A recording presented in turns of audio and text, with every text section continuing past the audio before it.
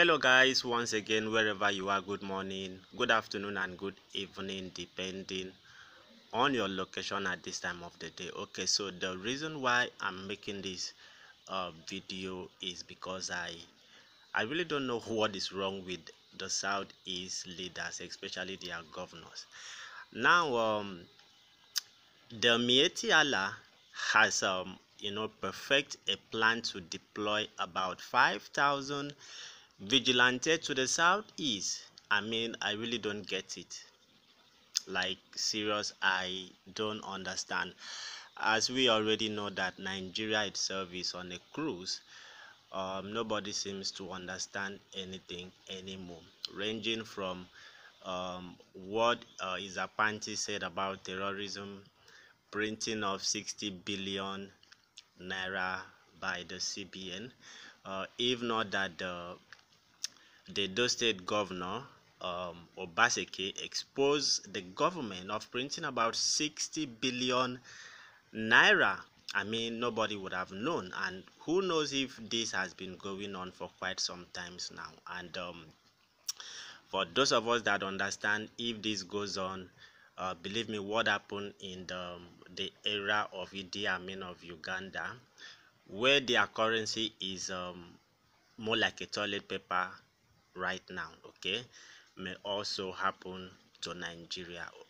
All right so um like i said the Miyetti Allah is um setting up plan to you know deploy about 5000 vigilante to the southeast. I mean i don't understand. And none of the southeast governors has stepped out to condemn or reject this proposal okay because number one it has no legal or constitutional backing. But these are being required and demanded from Eastern Security Network.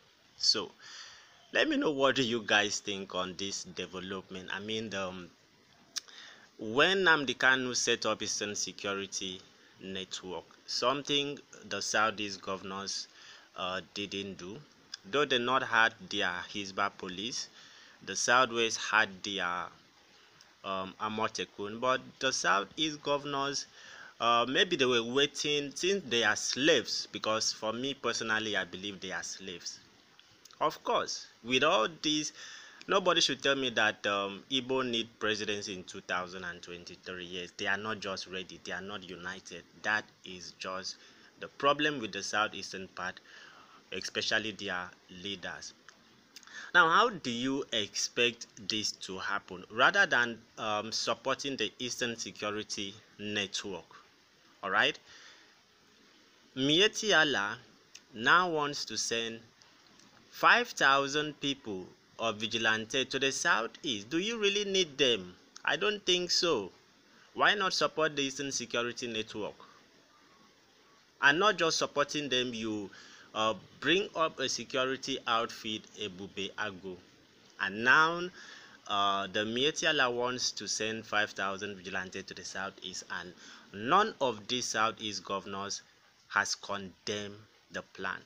Like seriously. So I quickly wanted to update you guys uh, what is going on in the southeastern part of Nigeria. But um, personally, I believe um, it may not work out let's see what will happen it may not work out because um, uh, the leader of IPOB Mazi Nnamdi Kanu will not love to sit down um, and look or see what uh, Miyetti Allah plans to do in the southeast.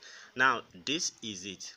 The same people that are causing havoc, I'm talking about the Fulani headsmen, in the southeastern part of Nigeria, yes, we already know that. The same people wants to send a vigilante to the region. I mean, does it really make sense? I don't think it makes sense at all. But let me know what you guys think. I quickly wanted to update you that uh, Miyetti Allah, um, it's planning to send uh, vigilante to the south east. But let me know what you think about the plan. See you guys in.